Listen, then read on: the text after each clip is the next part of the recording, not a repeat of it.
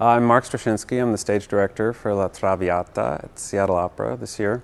This window that I'm standing in front of um, is, is part of the Act One scenery, and in fact, uh, the famous aria Sempre Libera is sung on the balcony. Violetta sings to the streets of Paris.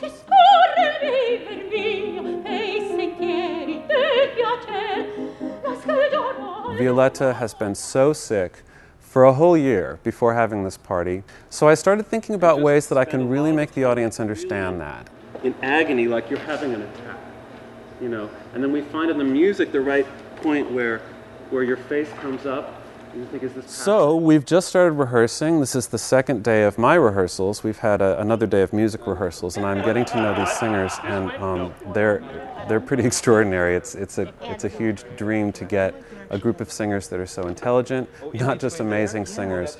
Nuccia Focile has done this has done Traviata, but never in period costumes. So she's really excited to be in these costumes. The two tenors we have for Alfredo, Dimitri Pittas, who I first met at Opera Theatre of St. Louis when I was directing there. He was singing Traviata, and so I got to know him a little bit there, and uh, we've just we've just re-met and started working together, and he's fantastic. Really interesting uh, actor he's interested in bringing his ideas to the piece, which, which I love.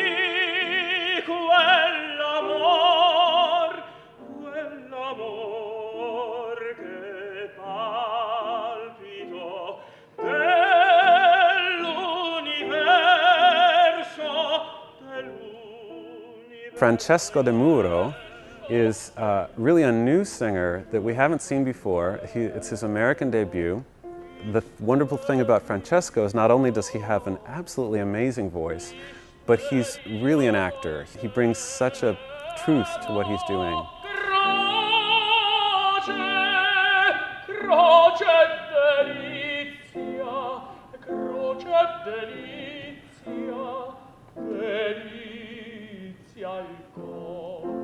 Eglise Gutierrez, we, we just did her two arias that are back to back, A Forse Lui and Sempre Libera, and also an amazing artist with beautiful high notes.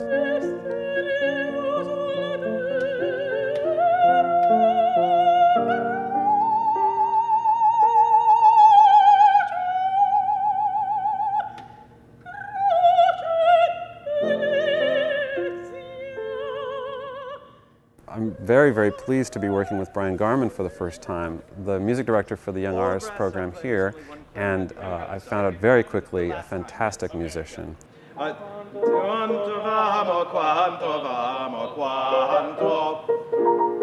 Yep, so, so last notice, just short. Okay. So I really can't wait to get on stage with this cast and with this scenery and uh, give you a wonderful Traviata.